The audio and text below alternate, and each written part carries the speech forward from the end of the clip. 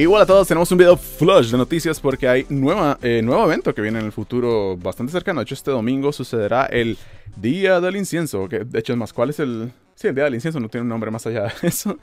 Y bueno, vamos a analizar la información de aquí como siempre hacemos. Tengo que decirles que... Y pausa, porque tengo que decir una cosa y la verdad es que han hecho un buen trabajo con ajustar ciertas cosas. Sé que no todos los eventos han sido perfectos y nada así, pero esto es una muy buena idea y creo que es una buena idea que sigan haciendo cosas de este estilo para hacernos seguir disfrutando el juego de maneras diferentes, más todo lo que anunciaron, más, bueno, todos los que se anunció formalmente más temprano con los pases remotos y demás, cómo funciona y etcétera. Bastante bien. hay que decir que han sido buenos esfuerzos y se ve que este evento también fue parte de esa necesidad de, de, adecuar el juego a cómo funciona el mundo en la actualidad. Así que bueno, bastante bien Niantic. En ese, en ese sentido, bastante bien.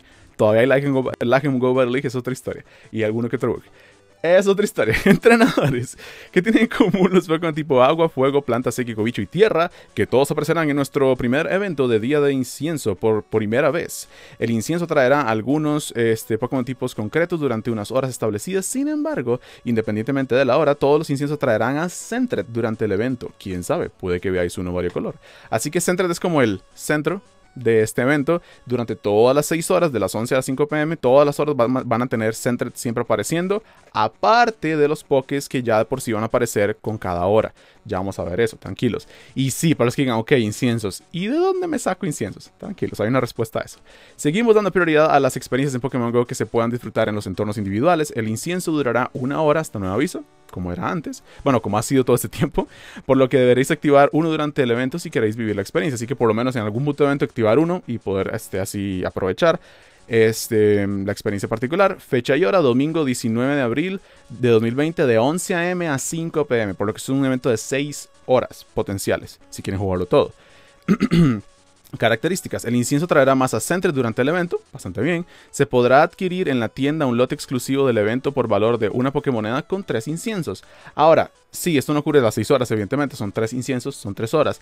Consejo, súper consejo de una vez, y si solo van a usar esos tres inciensos y no tienen más que esos tres inciensos y no van a poder comprar inciensos adicionales, úsenlos cada media hora. O sea, no, no empiecen a las 11, empiecen a las 11 y 30, así tienen un incienso que va de 11 y 30 y en la primera hora, y tienen la última media hora de la primera, del primer sector y la primer media hora del segundo sector. Así ponen los inciensos en medio de cada par de horas y así disfrutan un, media hora de una hora, media hora de una hora, media hora de una hora, media hora de una hora, etcétera, y así con los demás. Esa es la mejor manera de hacerlo y así disfrutan un poco de todos los spawns diferentes por lo menos media hora si no van a comprar más inciensos.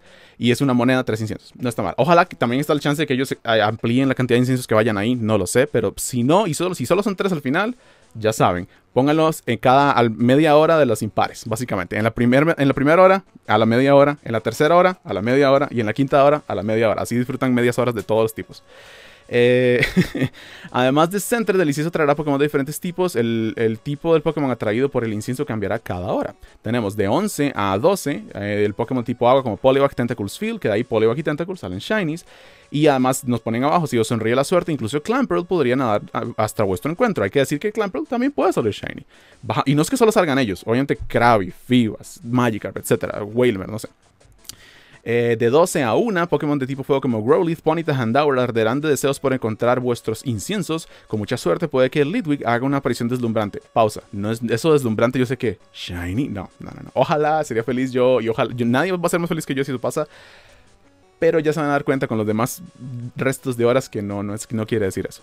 De 1 a 2 pm, Pokémon de tipo planta como Oddish, Roselia, Lilip se asegurarán de, que sus raíces se acerquen al incienso si sois eh, muy afortunados, puede que se, se, os plante cerca, qué manera de hablar, Dios mío, un Ferrocid. Así que ahí es, lo que les estoy diciendo. Son, son pokés destacables de quinta y Clamperl en la primera por algún motivo. Así que el Leadwig es el de la primera, en la segunda hora, Ferrocid el de la tercera hora, en la cuarta hora estaría Gotita con los psíquicos, que eso incluye pokés como Slowpoke, Balto y Bronzor, que Balto y Bronzor salen Shinies. Y en los de arriba, por cierto, Oddish, Roselia y Lily pueden salir Shinies. Eh, en la siguiente hora de las 3 a las 4, Pokémon tipo bicho como Caterpie, Lady, por favor no Lady y Skurupi, que Caterpie y Skurupi pueden salir Shinies, y Joltik puede aparecer. Aleluya, Joltik es hermoso y además de genial en 1500, así que es una buena manera de buscar uno decente.